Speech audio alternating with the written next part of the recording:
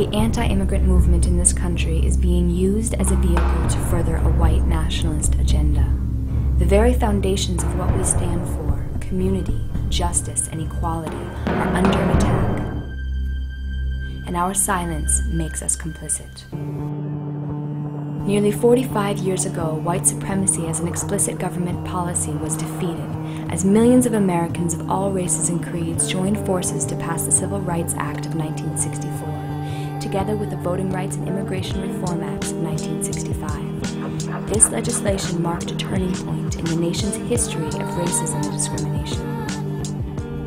Since 1965, we have seen a backlash in those civil rights advances.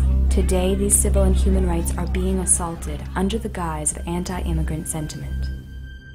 Investigations by numerous civil rights groups conducted in the aftermath of the September terrorist attacks found that the anti immigrant movement in this country is a well organized network of front groups, all orchestrated by one man, John Tanton. John Tanton, who is an ophthalmologist from Michigan who came out of the Sierra Club. He believes the greatest danger to civilization is population growth, and he holds immigrants, specifically immigrants from Latin America and Africa, responsible for population growth. This is a guy who's a white nationalist. Each organization plays a crucial role within the Tanton network, allowing them to manipulate the immigration debate both politically and publicly.